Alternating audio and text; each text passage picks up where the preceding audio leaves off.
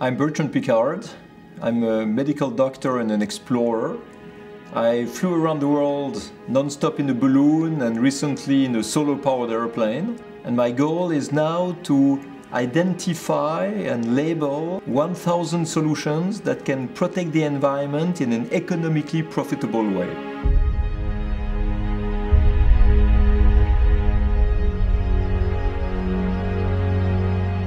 Today, it's not enough to say nature is beautiful, wonderful, and we have to protect it. And today, there is just one alternative. You change, you embrace new ways of doing, or you will disappear.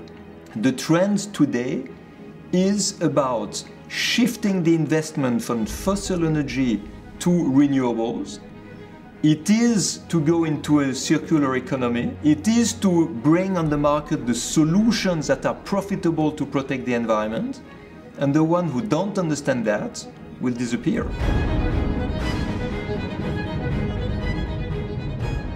Governments today have to lead. They have to show the way. They have to explain to the citizens why we have to change something and how we can do it. We have to go now to much more modern regulations.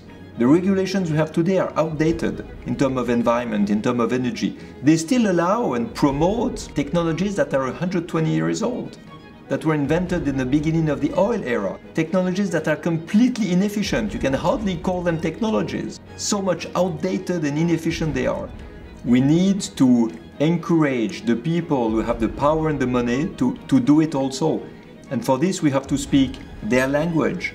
And speaking the language of the people we want to convince is a language of profit, of job creation, of growth, of financial advantage, the advantage of protecting the environment, but under the purely economical way. This is going to be a fantastic opportunity for startups to bring the solutions they have to the consumer the consumer have the responsibility to consume only products that match with their values and maybe even to boycott the one who are really out of the values that they should have. We have today enough profitable technologies to divide by two the energy consumption and the CO2 emissions, and we have to use them.